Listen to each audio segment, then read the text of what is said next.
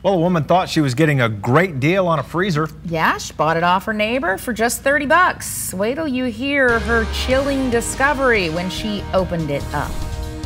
Plus, it's one of the most common allergies in the United States milk. Which big company just promised millions of dollars to develop a test to see if babies are allergic? And another live look at that breaking news along the 6800 block of Conifer Road. Chesterfield police, fire, and hazmat crews are trying to find out exactly what's inside a suspicious smoking package. Our Chelsea Rarick is there, and she'll have an update in just a little bit here on the CBS 6 News at 530.